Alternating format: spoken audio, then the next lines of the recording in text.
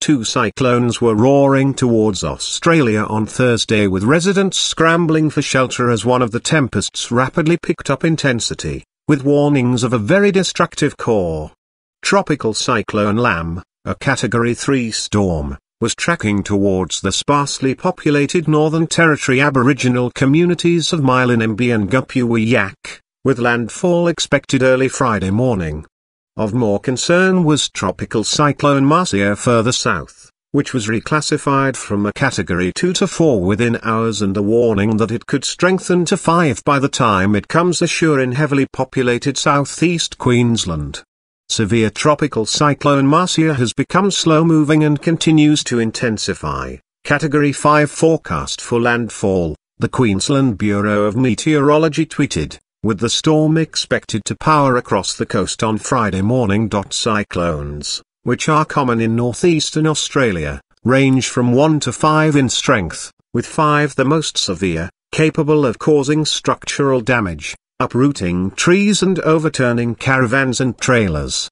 Massive seas, a deluge of rain, flash flooding and gales force winds of up to 270 km per hour, 165 miles per hour, are forecast along with abnormally high tides when it hits somewhere between the towns of Mackay and Gladstone. Queensland has been smashed by several major storms and cyclones over the past few years with Cyclone Oswald, also a Category 5, flooding parts of the state in 2013, racking up insurance claims of some dollar 977 million, 765 million US dollars. This is a serious event. It has changed drastically since this morning, said Queensland Premier Annastacia Palaszczuk. Queenslanders need to be prepared now.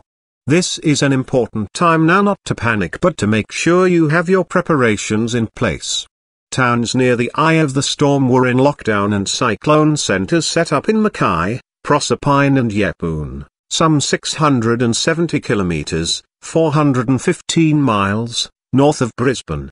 Palaszczuk said all Queensland hospitals had activated their emergency plans and additional ambulance services had been moved to some areas. In Yeppoon, supermarket shelves were emptied and sandbags filled as locals readied for a long night.